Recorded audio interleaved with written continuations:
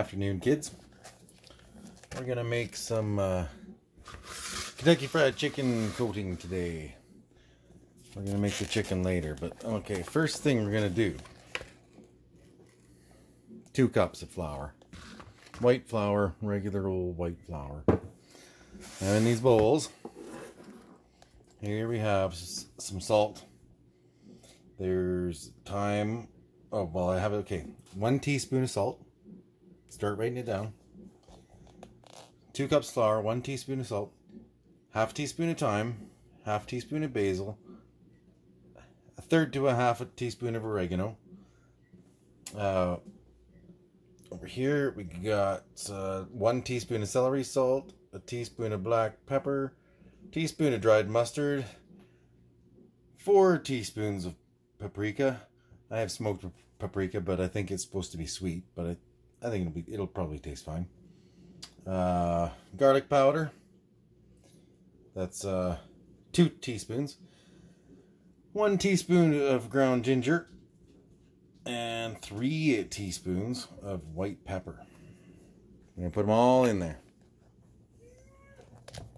These are English muffins from earlier.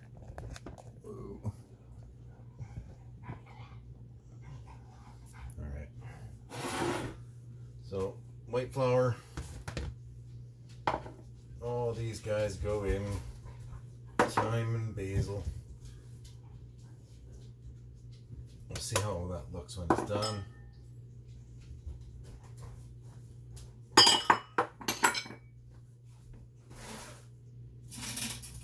I'm not sure how I like the thyme. I may send it through the food processor to try and make more even pieces.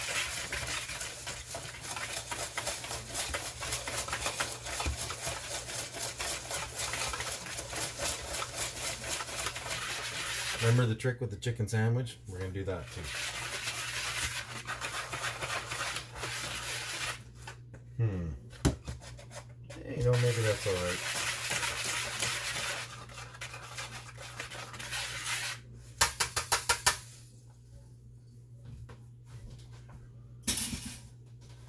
Yeah, that'll be fine. I'm just going to leave it like that. So, we got lots. This is more than one batch. This will be a, a couple batches. I'll put that in a container.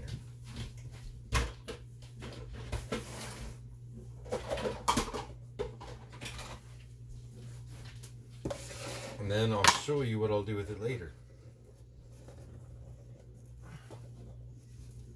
Oops.